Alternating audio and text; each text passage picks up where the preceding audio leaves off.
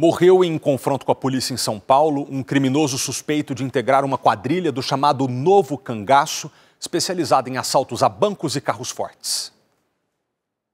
Na casa do suspeito foram apreendidos dois fuzis .50, outros tipos de arma de grosso calibre, munição, coletes à prova de bala e uniformes de forças de segurança.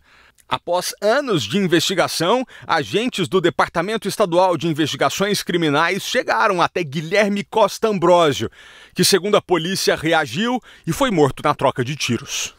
Pelo quarto ano consecutivo, o SBT News é a marca mais confiável de jornalismo no Brasil, de acordo com o Instituto Reuters. 62% dos brasileiros consideram o SBT News e o SBT Brasil a fonte mais segura de informação.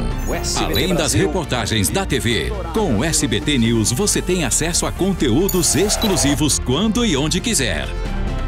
SBT News. Notícias que você pode confiar.